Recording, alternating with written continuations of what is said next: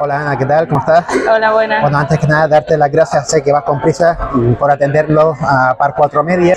Eh, bueno, ha sido un año, como estabas comentando ahora en rueda de prensa, pues bastante bueno, empezando incluso con esa victoria en Madrid, ¿no?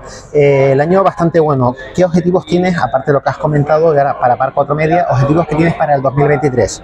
El objetivo para 2023, bueno, así como mayor rango creo que sería jugar la Surfing Cup, eh, pero lo más urgente entre comillas eh, sería conseguir la tarjeta de la LPGA ahora la semana que viene Ajá. y competir, empezar la temporada allí, creo que sería eh, muy beneficioso empezar ya a tener un poco el, el sabor ¿no? de la competición en Estados Unidos con, con las mejores del mundo y, y, bueno, por supuesto mantener la tarjeta del LED para poder disfrutar de, de la Surfing. He visto también que tienes a, a un gran Cádiz y ese cambio ahora también, eh, también porque estás buscando eh, una nueva etapa con nueva victoria, otra seguridad, coméntanos un poco. Bueno, yo a Job de hecho lo tuve en la bolsa en la qualifier del LED el año pasado. Ajá. O sea, ya lo conocía incluso antes de tener la, la tarjeta.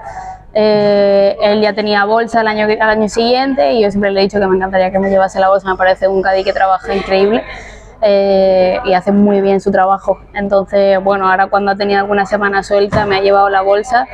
Con suerte eh, le sigue motivando el mundo eh, de la LPGA y, yo consigo tarjeta y se viene. Eh, si no, pues bueno, me gustaría encontrar también un Caddy que, que me acompañase y, y, los dos crecer juntos, ¿no? Creo que cambia mucho la historia en cuanto a jugar sola a jugar con un Caddy, ¿no? Estupendo. Bueno, ya la última pregunta rápidamente. De repente, como estabas comentando, te ves eh, abajo, empiezas poco a poco a subir, pero ha sido muy rápido. Eh, ¿Cómo te lo estás tomando actualmente?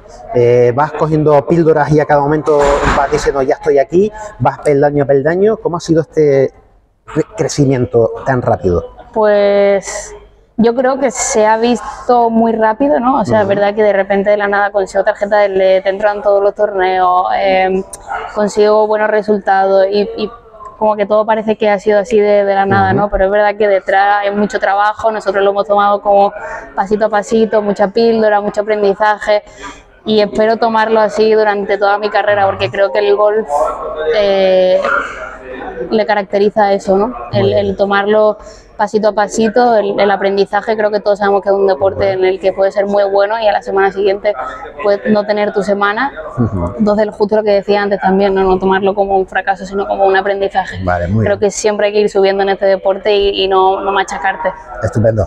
Pues nada, pues muchísimas gracias, muchísimas muchísima gracias. suerte para este Open gracias. de España